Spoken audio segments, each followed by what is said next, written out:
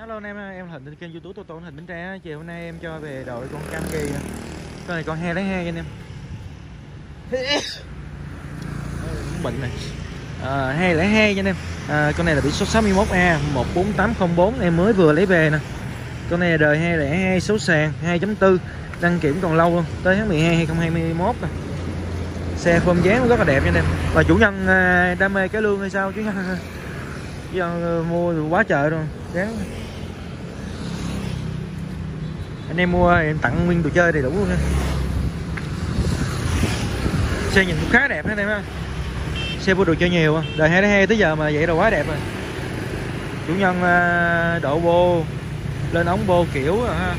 Clip bô rồi quá trời. Để mở lớp cửa đi vào vòng nội thất của chiếc xe này nhìn nha.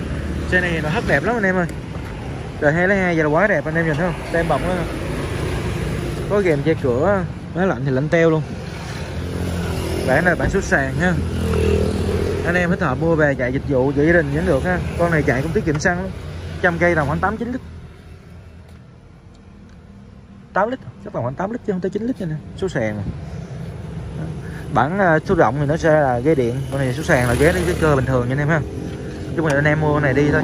Máy máy số ngon, muốn đẹp thì về tốt là chút đỉnh ha. Mâm lớp vỏ máy tinh đây buổi tối các bạn quay sơ sơ chi tiết cho anh em nhìn. Bên em cũng rất nhiều xe Innova uh, Mazda 6 Jolie rồi uh, uh, Bergo rồi ở dưới bãi dưới kia cũng còn một hai chiếc nữa. Đó, anh em nào có nhu cầu mua bán gì đó thì uh, cứ alo số điện thoại nha. Em có bớt chút đỉnh cho. Có hỗ trợ giao xe tặng nhà cho anh em ở những vùng uh, dịch ít nha. Bữa nào dịch nhiều đường khó đi quá em đi cũng được ha. Xe này anh em nói chung là nhìn về thiết kế bên ngoài nó thì form dáng rất là đẹp nha. Hè lấy hè tới giờ quá đẹp em chạy xe cũng hay quá chạy. Dây giờ nó cũng vừa lọt luôn. Kiến này à, cặp tay được luôn nha nè. Xe nhìn nói chung cũng được.